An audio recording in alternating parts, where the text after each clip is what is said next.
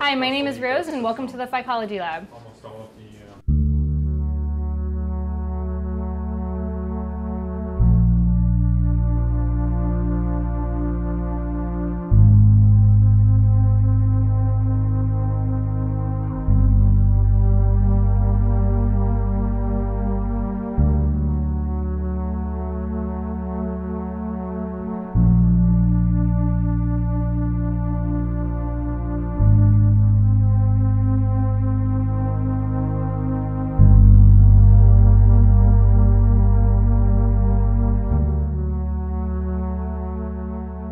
And so the kelp Dry- forest so provides dry habitat ash for weight a and wide variety of Down to there's no animals. more. And if And you then want, you you can put figure some, out um, how you can many add some nutrients animals are to our in it. kelp forest. We It's got all over that there. info. And we have some ice cream too, if you're interested in some ice cream. Mm-hmm. You want some ice cream? Okay.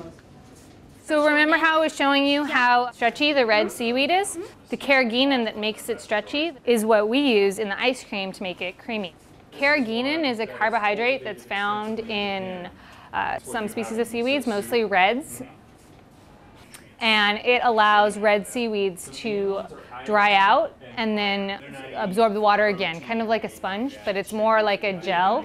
So it makes their cells more elastic and stretchy so they can handle shrinking when they're dried out and then stretching back out again once the water comes in without tearing. So there's basically like the red seaweeds in there a little bit. Yeah, well, they take the carbohydrate out of the seaweed. We have taken the carrageenan and extracted it from these seaweeds by, um, I think they boil it, and then the gel kind of floats to the surface, and they scrape the gel off. And that gel is put into ice creams to make them creamy. Instead, it's a vegetarian product as opposed to gelatin. You know, the gelatin comes from animals, right? If you use carrageenan to make jello, that's not from animals, it's from algae. And you'll find it in toothpaste, shampoos, and uh, yogurts, the Gushers fruit snacks. I think they're making gummy bears with them now.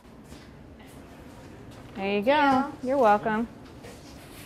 So all of what we starting to melt.